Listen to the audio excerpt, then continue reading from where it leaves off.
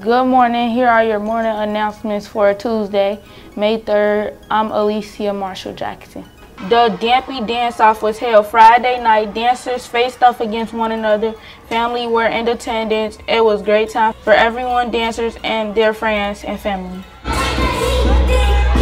This week we are state testing it's Teacher Appreciation Week. DAMPE is currently reviewing grades for all students for retention. Be sure to do all your work. Field trips are coming. DAMPE behavior and uniforms are required.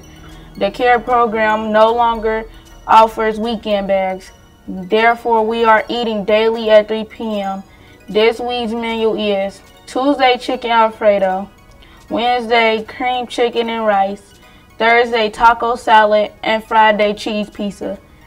Eighth graders, Kings Island trip is fast approaching. Be sure to stay on top of class work and your best behavior. We will have a field day on May 19th at the Fitness Academy. May 24th will be 8th grade's promotion. DAMPE will have a summer school adventure learning camps June 7th through June 30th. Every Tuesday, Wednesday, and Thursday from 9 p.m. to 12.30 p.m. Then from 12.30 to 3.30, students will enjoy fun games, activities, food, and more with PMMEG. For applications, see Ms. Bronston or Mr. Cooper.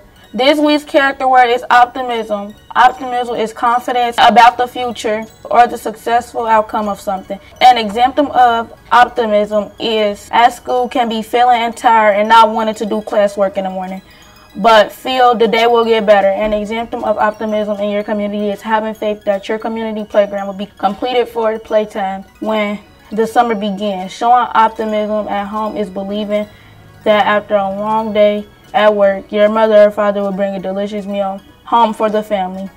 Here are the students celebrating birthdays. If you see them, wish them a happy birthday. Make a friend today. Be kind to each other. Have a great day.